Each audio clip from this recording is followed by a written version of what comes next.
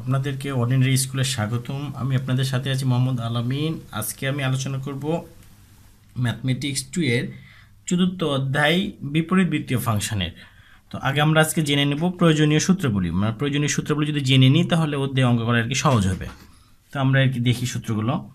এক নম্বর সূত্রটা এরকম হচ্ছে যে tan inverse x plus tan inverse y equal tan inverse x plus y one minus x y. যদি দু নম্বরটা দেখি tan inverse x minus tan inverse y equal tan inverse x minus y one plus x y ঠিক আছে? যদি আমরা তিন নম্বর সূত্র দেখি tan inverse x plus tan inverse y plus tan inverse z সমান সমান tan inverse x plus y plus z minus x y z one minus x y minus y z minus z x যদি আমরা চার নম্বর সূত্র দেখি two tan inverse x এই সূত্রটাকে আমরা তিনভাবে লিখতে পারি। একটা হচ্ছে যদি ট্যানে প্রকাশ করি, তাহলে tan inverse two x one minus x square যদি এটাকে আমরা সাইনে প্রকাশ করি, তাহলে sine inverse two x one plus x square যদি এটাকে আমরা কষে প্রকাশ করি, তাহলে cos inverse one minus x square one plus x square ঠিক আছে? তারপর আমরা যদি পাঁচ নম্বর সূত্র দেখি সাইনের sine inverse x plus sine inverse y equal sine inverse x root over one minus y square plus y root over one minus x square সেমভাবে যদি আমরা ছ নম্বরটা দেখি sine inverse x minus sine inverse y তাহলে sine inverse x root over one minus y square minus y root over one minus x square অর্থাৎ প্লাসের সূত্র হলে এখানে প্লাস মাইনাসের সূত্র হলে এখানে মাইনাস এভাবে আমরা মনে রাখব। যদি আমরা সাত নম্বর সূত্রটা দেখি, তাহলে cos inverse x plus cos inverse y তাহলে সূত্রটা হচ্ছে x y minus root over one minus x square one minus y square ঠিক আছে? সেমভাবে যদি আমরা আট নম্বর সূত্রটা দেখি cos inverse x minus cos inverse y তাহলে x y minus root over one minus x square one minus y square সেমভাবে এখানে যদি আমাদের প্লাস হয়, তাহলে এখানে আমাদের মাইনাস এখানে যদি মাইনাস হয়, তাহলে এখানে হবে আমাদের প্লাস ঠিক আছে?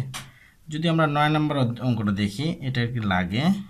সাইন সূত্র প্রমাণের ক্ষেত্রে। সাইন টু থেটা সমান সমান two tan theta one plus tan square theta দশ নম্বরটা, যদি টেন টু থেটা দেখি আমরা two tan theta one minus tan square theta যদি আমরা এগারো নম্বরটা দেখি কস টু থেটা তাহলে one minus tan square theta one plus tan square theta ঠিক আছে? আরেকটা আমরা দেখি। এখানে যদি অঙ্ক এরকম থাকে সূত্র অনুসারে যে সাইন ইনভার্স আর সাইন এক্স তাহলে এই ইনভার্স আর এক্স কেটে যে হয় কি আমাদের এক্স ঠিক আছে? হুম?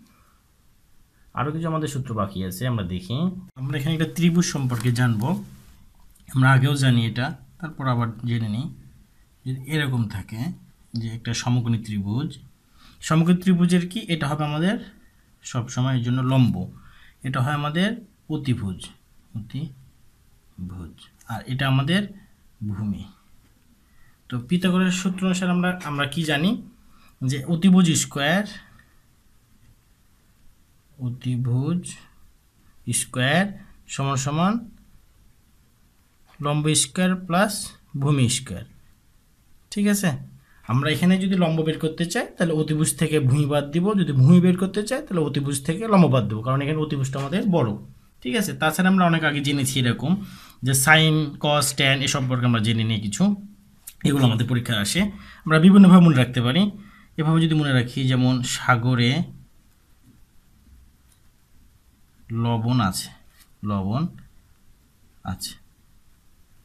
তো সাগর মিনিং আমরা বুঝতে পারি হলো সাইন লবণ মানে লম্ব, আছে মানে হলো অতিভুজ। অতিভুজ। তাহলে আমরা বলতে পারি কি? সাইন সমান সমান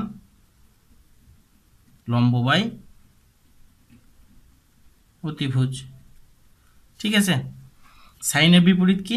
সাইনের বিপরীত হলো কশেক তাহলে কশেক সমান আমরা কি বলতে পারি? অতিভুজ।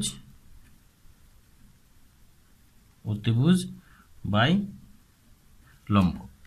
এভাবে বলতে পারি আমরা যে কবরে ভূত আছে, কবরে ভূত আছে। এই সম্পর্কে যদি আমরা জেনে নিই, তাহলে কবর মিনিং হলো কষ, ভূত মানে হচ্ছে ভূমি, আছে মানে হলো অতিভুজ অতিভুজ। ঠিক আছে? তাহলে আমরা বলতে পারি এখানে কষ সমান সমান ভূমি আগে অতিভুজ পারে, ভূমি বাই অতিভুজ। কষের বিপরীত কি? শেখ তাহলে শেখ সমান সমান অতিভুজ বাই ভূমি। ঠিক আছে? আমরা আরেকটা জানি। ট্যানের যে টেরা লম্বা ভূত। টেরা মানে হলো ট্যান লম্বা মানে হলো লম্ব, আর ভূত মানে হচ্ছে ভূমি।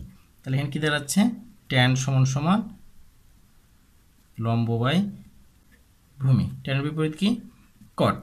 কট কট সমান সমান তাহলে ভূমি বাই লম্ব। ঠিক আছে? আমরা এটা জেনে নিই। এটা বিভিন্ন সালতি, কবতি ট্যালভু, এগুলো বিভিন্নভাবে মনে রাখে জাস্ট আমাদের মনে রাখতে হবে। তাহলে আমাদের কনভারসেশনটা মিনিংটা হচ্ছে এরকম যে সাইনের সাথে সম্পর্ক কশেকের। কশেকের, ট্যানের সাথে সম্পর্ক কটের, আর কষের সাথে সম্পর্ক সেকের। ঠিক আছে? এভাবে আমরা একটু মনে রাখব। এই সূত্রগুলো আমরা যদি পারি, তাহলে এদের কোনো অঙ্ক আর কোনো প্রবলেম হবে না।